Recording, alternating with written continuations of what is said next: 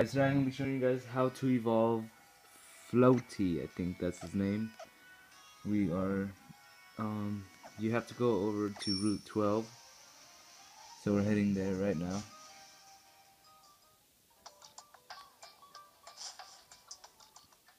This is the first time I've done it, so the you need to get a shiny stone to evolve it.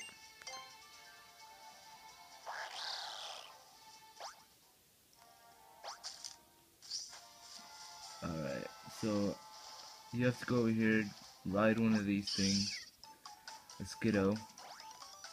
By the way, I have a shiny Skiddo if anybody wants to trade me something for it. Okay, alright. Okay, I want to get out. Alright, thank you. So there's the shiny stone thing. Right there. Shiny stone. Alright, so we have that, and now we're going to be evolving it. So you want to go to bag. You want to go down to your stuff. Alright. And there it is, shiny stuff. Use it on that thing, floaty thing. Alright.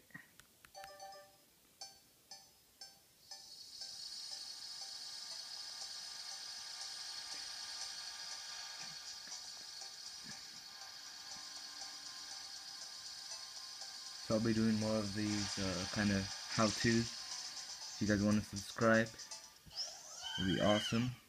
So that looks pretty nice. That's badass. Alright guys, um, so yeah, thanks for watching and peace.